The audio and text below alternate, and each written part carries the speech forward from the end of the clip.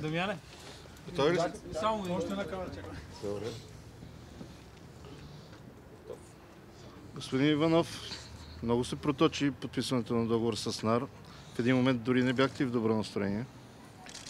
Ще когато винаги има такива, когато има договори за трансфери между клуб-клуб и се уточняват личните играчи, има и менеджери, така че винаги нещата стават малко по-бавно.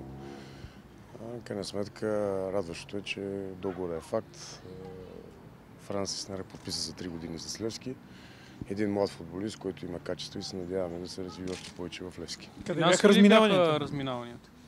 Не, разминаванията са били чисто менеджерски комисионни между клуб-клуб, така че не е било нещо сериозно и играча не е причината. В Тамбала разтрогнали официално вече.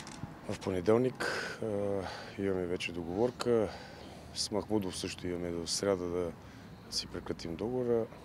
Така че това са нещата, които за в момента се случват. Понеделник чакаме други играчи, които да подпишем договор. Да правите анонс за един заради висенето ни днеска 5-6 часа тук на студа. Кой е най-близко, така да го Александър? Александров. Понеделник. Го очакваме.